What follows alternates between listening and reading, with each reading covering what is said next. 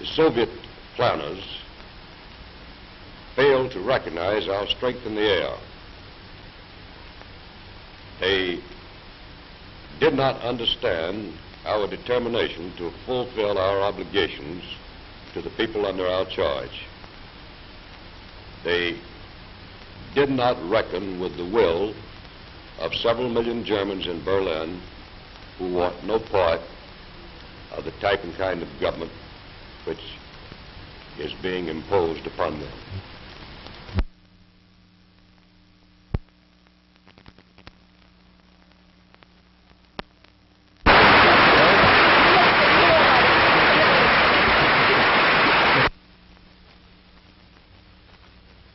The enemies of human freedom in this world can, in the end, only achieve their purpose by brute force. History shows that they will not be held in check by weakness. Peace will never be bought by appeasement.